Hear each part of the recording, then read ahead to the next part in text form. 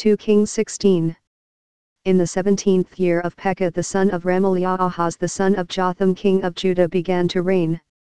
Twenty years old was Ahaz when he began to reign, and reigned sixteen years in Jerusalem, and did not that which was right in the sight of the Lord his God, like David his father.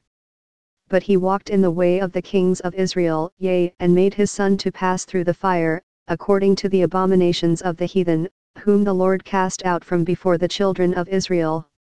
And he sacrificed and burnt incense in the high places, and on the hills, and under every green tree. Then Rezin king of Syria and Pekah son of Remaliah king of Israel came up to Jerusalem to war, and they besieged Ahaz, but could not overcome him. At that time Rezin king of Syria recovered Elath to Syria, and drave the Jews from Elath, and the Syrians came to Elath, and dwelt there unto this day. So Ahaz sent messengers to Tiglath-Pileser king of Assyria, saying, I am thy servant and thy son, come up, and save me out of the hand of the king of Syria, and out of the hand of the king of Israel, which rise up against me. And Ahaz took the silver and gold that was found in the house of the Lord, and in the treasures of the king's house, and sent it for a present to the king of Assyria. And the king of Assyria hearkened unto him, for the king of Assyria went up against Damascus, and took it, and carried the people of it captive to Kir, and slew Rezin.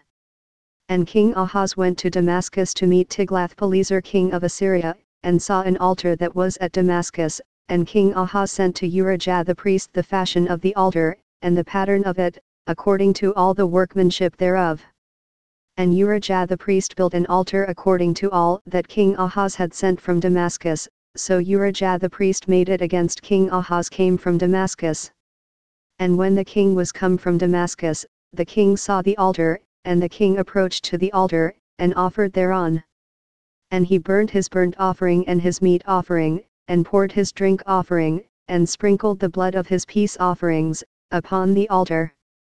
And he brought also the brazen altar, which was before the Lord, from the forefront of the house, from between the altar and the house of the Lord, and put it on the north side of the altar. And King Ahaz commanded Urijah the priest, saying, Upon the great altar burn the morning burnt offering, and the evening meat offering, and the king's burnt sacrifice, and his meat offering, with the burnt offering of all the people of the land, and their meat offering, and their drink offerings, and sprinkle upon it all the blood of the burnt offering, and all the blood of the sacrifice, and the brazen altar shall be for me to inquire by. Thus did Urijah the priest, according to all that King Ahaz commanded. And King Ahaz cut off the borders of the bases, and removed the laver from off them, and took down the sea from off the brazen oxen that were under it, and put it upon the pavement of stones. And the covert for the Sabbath that they had built in the house, and the king's entry without, turned he from the house of the Lord for the king of Assyria. Now the rest of the acts of Ahaz which he did, are they not written in the book of the Chronicles of the kings of Judah? And Ahaz slept with his fathers, and was buried with his fathers in the city of David, and Hezekiah his son reigned in his stead.